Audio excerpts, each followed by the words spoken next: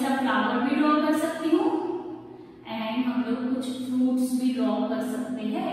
So that is the stem that contains leaves branch flower and fruits clear जो basically क्यूम्यून में से originate हुआ है। क्लियर यहाँ तक ओके अब हम लोग बात कर रहे हैं शुभम। अब हम लोग बात कर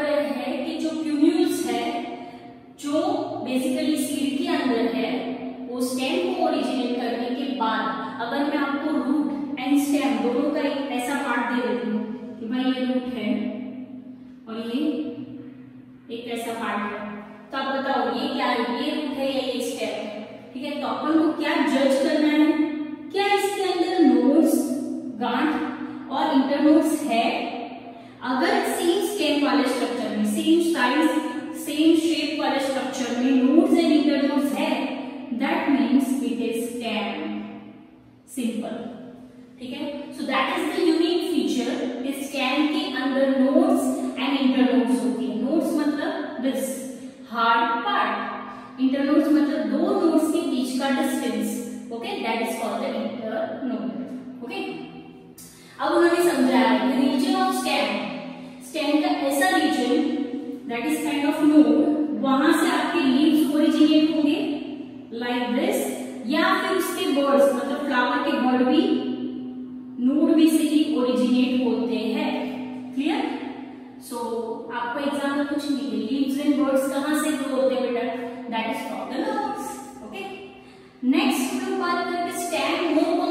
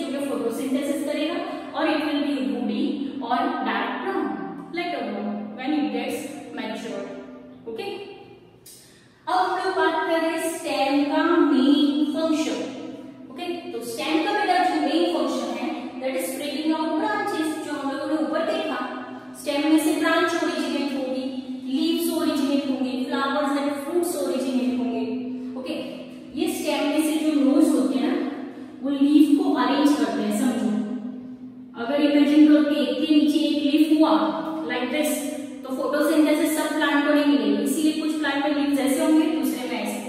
ये दैट इज़ रोटेटरी फैक्शन है, ठीक है? ताकि सारे लीव्स को सनलाइट मिले और सब लोग फोटोसिंथेसिस कर पाए। Clear second conduction of water important चीज़। अगर स्टेम ना होता तो उसके अंदर जाइलम एंड फ्लोएम नहीं होता ओके जाइलम ओके, समझो। जाइलम का मेन फ़ंक्शन है that is conduction of water and minerals और जो वाटर एंड मिनरल्स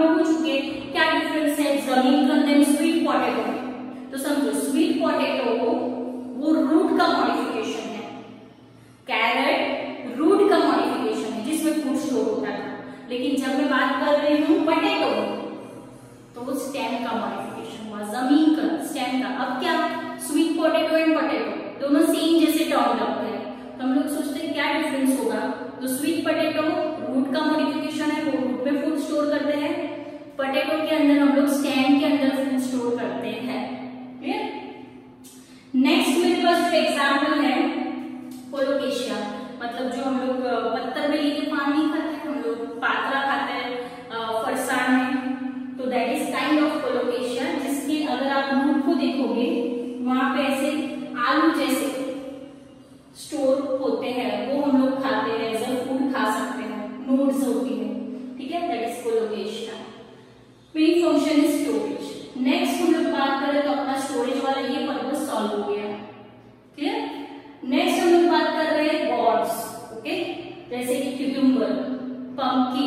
वाटरमेलन तो ये सब के अंदर हमारे पास क्या है? That is called the tendrils stem tendrils में कन्वर्ट हो जाते हैं काइंड ऑफ़ दिस अगर ये स्टेम है तो ये कुछ ऐसे टेंड्रिल में कन्वर्ट हो जाएँगे. For the support for the climbing okay तो स्लेंडर होते हैं दैट इज़ राउंड स्लेंडर मतलब पतला होना. स्पाइरली कॉइल मतलब राउंड होते हैं एंड क्लाइंबिंग में हेल्प करते हैं that is tendril okay and axillary समझो. अगर मैं बात कर रही हूँ एक्सिलरी वर्ड जैसे कि ये स्टेम है, ठीक है? तो ये अपाइकल वर्ड हुई मैं बात करूँ एक्सिलरी वर्ड मतलब ये वर्ड उसकी टेंडल बन जाएगी। क्यों? क्योंकि ये तो ग्रो होता रहेगा ना ऊपर तक।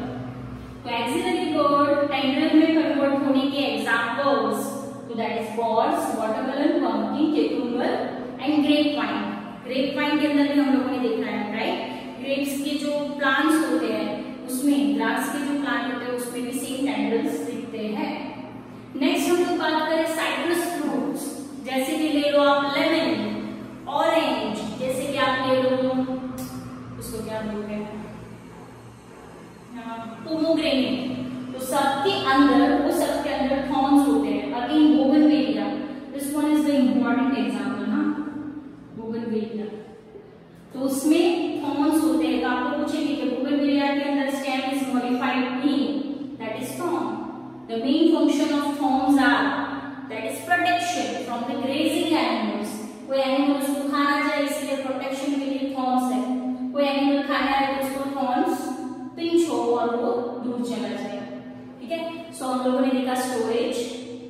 second देखा टेंड्रिल थर्ड देखा थॉर्न ओके नेक्स्ट हम लोग बात करें, ये सारे जो हम लोगों ने मॉडिफिकेशंस देखे, वो अंडरग्राउंड स्टेम थे। स्टेम जो कि ज़मीन के अंदर सॉइल के नीचे के लेयर में चल रहे थे। आइडियली स्टेम सॉइल के ऊपर होते हैं, लेकिन ये मॉडिफिकेशन है तो हो सकता है। ये हम लोगों ने नॉर्मल फ़ंक्शंस बताए थे कि नॉर्मल स्टेम ऐसे होने चाहिए। लेकिन कुछ मॉडिफाइड स्टेम जो कि ज़मीन के अंदर ग्रो होते हैं सॉइल के अंदर सॉइल के बीनीथ ग्रो होते हैं। तो ये वाली क्लियर उसमें स्टोरेज टैंगल्स एंड उन्होंने एक थॉर्न वाला अगेन एक्चुअली अंडरग्राउंड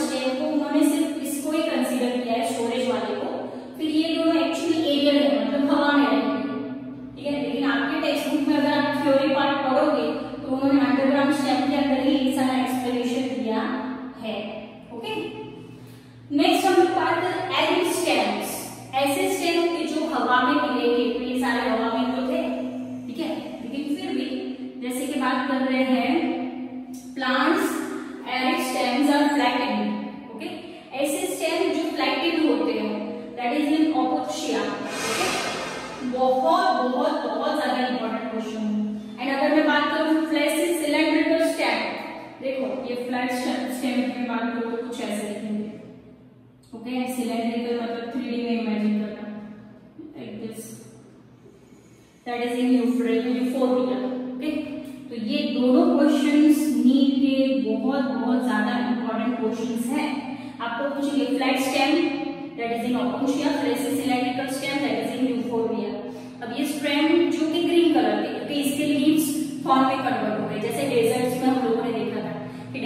प्लांट्स के लीव्स थॉर्न में कन्वर्ट हो जाते हैं। क्यों? फोटोसिंथेसिस ट्रांसपिरेशन कम करने के लिए। ठीक है? अब ट्रांसपिरेशन के लिए लीव्स ही निकालती है? तो फोटोसिंथेसिस कोई तो करना चाहिए ना। तो दैट इज़ उसमें स्टैंड करते हैं। ऑर्चिड्स में। ठीक है? नेक्स्ट हम लोग बात कर रहे हैं अंडरग्राउंड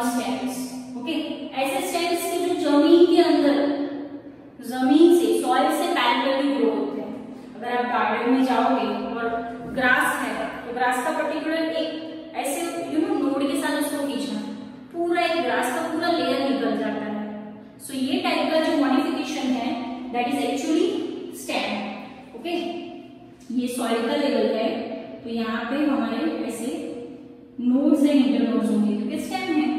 तो लीव्स आपको बाहर दिख रहे हैं। ठीक है, ये अपना स्टेम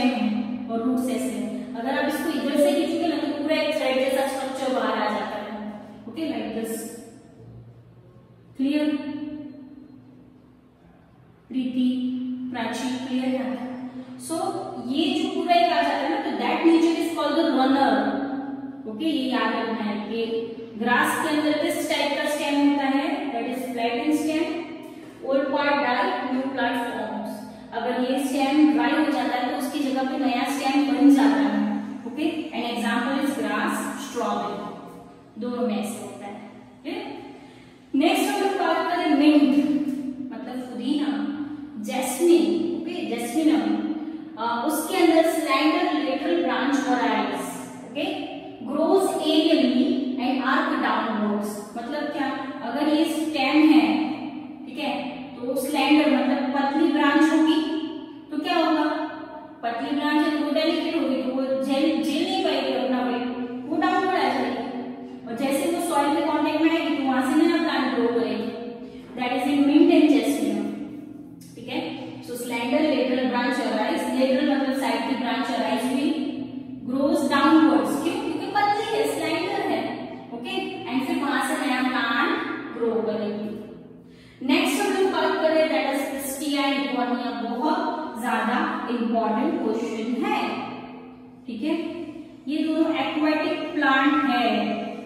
ओके क्रिस्टिया इकोनिया अब ये पानी में मैं आपको ड्रॉ कर दूँगा जो मैंने पानी ड्रॉ कर दिया लाइक दिस पानी के अंदर शॉर्ट नोड्स एंड इंटरनोड्स में। मतलब क्या ये नोड्स एंड इंटरनोड्स के बीच का जो डिस्टेंस है वो बहुत ही ज़्यादा कम है। देखो यहाँ पे ज़्यादा था, उससे भी कम हम लोग यहाँ पे ड्रॉ कर सकते हैं या फिर होता है, ठीक है?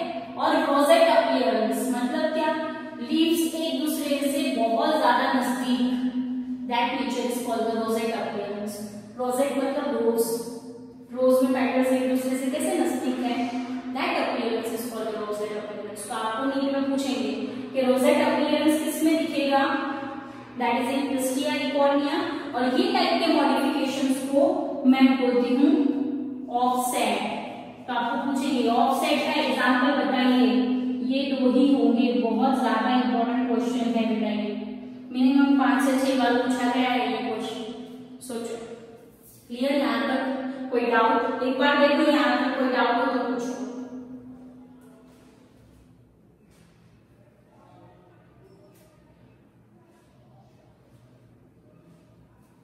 तो फिर से मैं बात कर रही हूँ that is underground example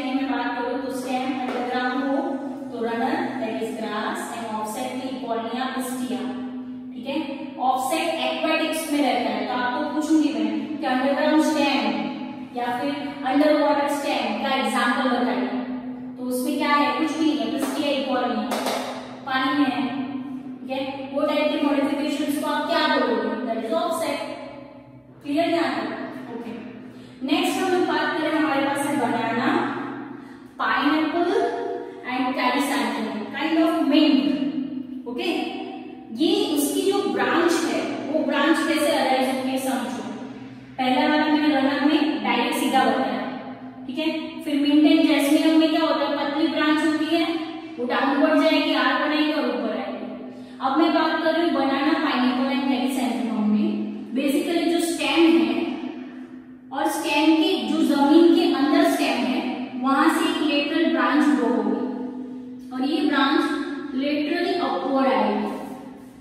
ठीक है? सो मैं फिर से बोल रही हूँ banana pineapple and chrysanthemum branch arise from the base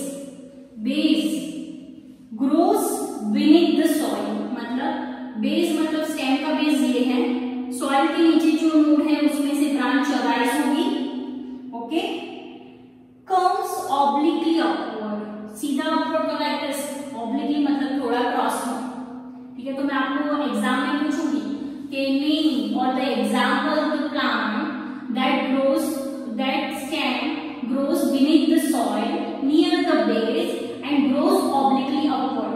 Upward obliquely आया तो banana pineapple and chrysanthemum downward arch आया देखो, यहाँ पे हम लोगों ने बोले डाउनवर्ड एंड आर्क ये टर्म तो मिल्क एंड जैस्मिन एक्वेटिक में नोड्स एंड इंटरनोड्स का डिस्टेंस कम तो पिस्टिया एंड इकॉर्डिया ओके और ग्रास क्योंकि रनर जिसमें ओल्डर पार्ट मर जाएगा तो न्यू प्लांट ग्रो हो जाएगा।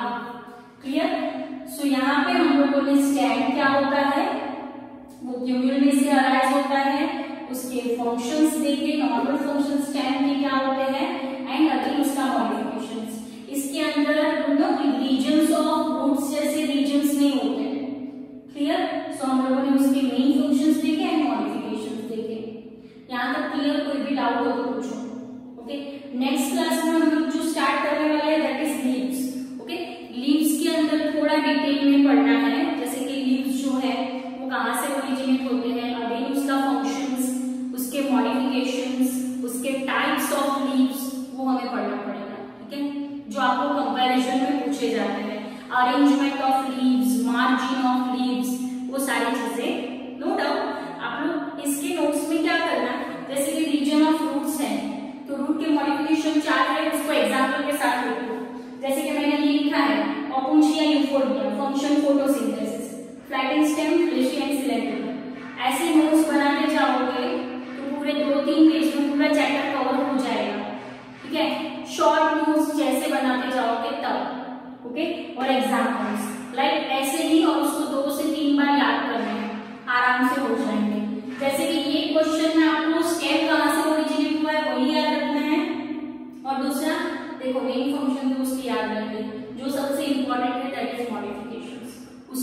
अच्छे से याद रखना है तुम लोग को। यहाँ तक क्लियर या बाउंस क्लियर है एवरीवन नेक्स्ट क्लास में हम लोग लीव से स्टार्ट करेंगे। और अभी ये चैप्टर कंप्लीट होगा ना, उसके बाद हम हम लोग बायोमोलिक्यूल स्टार्ट करेंगे। क्योंकि कुछ बच्चों को बायोमोलिक्यूल्स भी